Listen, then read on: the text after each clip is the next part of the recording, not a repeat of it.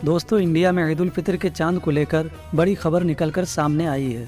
आज बरोज जुमा, इंडिया में उनतीसवां रोज़ा था और आज सऊदी अरब में ईद उल फितर मनाई गई। हिंदुस्तान में चाँद देखने के मुतालिक जो अपडेट सामने आई है, इसे जानकर दोस्तों आप खुश हो जाएँगे। आज मगरिब की नमाज़ के बाद पूरे हिंदुस्तान में लोगों ने ईद उल फितर के चाँद को देखा और खुशी की बात तो ये है कि सभी लोगों को नज़र भी आया।